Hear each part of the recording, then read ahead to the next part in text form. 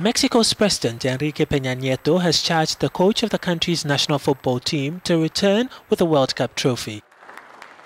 The trophy, which has been touring the world ahead of the start of the football tournament in Russia in June, has made a stop in Mexico. President Peña Nieto assured the national team of the country's support during the tournament and said they will be happier if the team emerged victorious.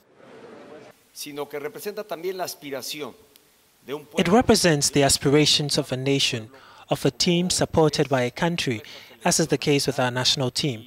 After having touched it this World Cup, it's my wish and hope that Mexico's national team brings back this trophy, which is now touring our country.